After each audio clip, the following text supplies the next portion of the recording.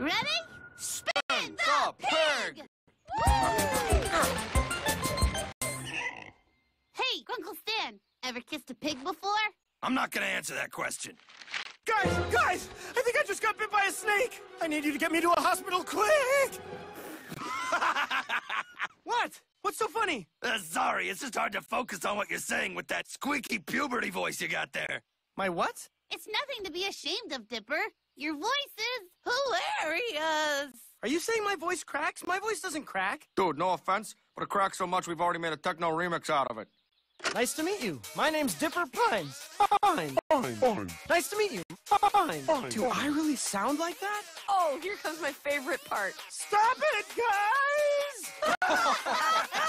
Give me that.